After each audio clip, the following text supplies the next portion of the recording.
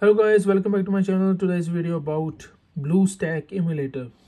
Those my friends who are using the bluestack so i let you know the setting about bluestack that you need to know.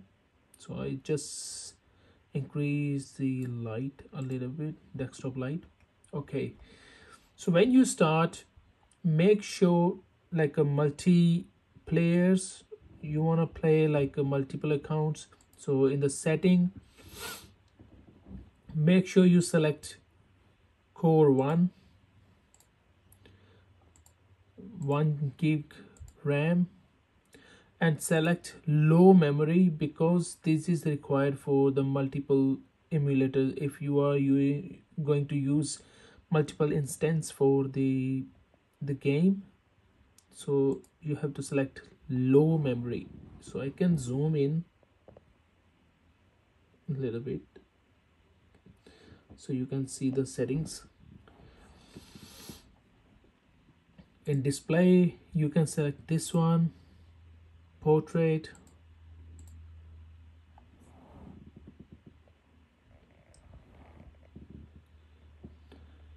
And 240 dpi medium BlueStack 100% default. Okay then we go to the graphics leave it as, as it is. I didn't touch these ones. Device I didn't touch. Gamepad no. Now we talk about this.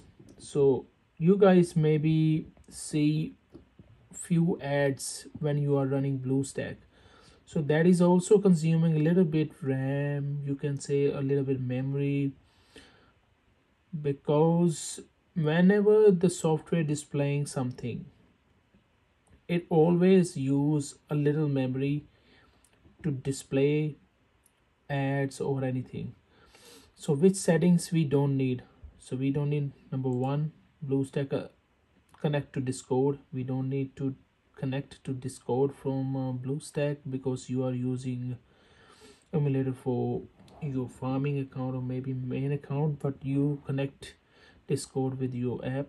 Okay so create desktop shortcut. We don't need this one. The third one we need because us will sign in with google play upon launching a game. So enable android sound while tapping. We don't need it. And the last one allow bluestack to show ads during gameplay. We don't need this. And click on disable save the settings if you don't need a notification you can disable the notification as well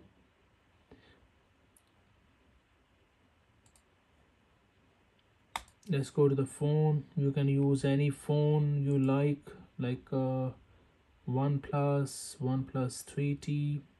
I left just a, just as a default, whichever this system picked up. Data, advance. So in advance, you make sure you enable this. Because if you don't enable this, your bot software will not uh, pick this emulator.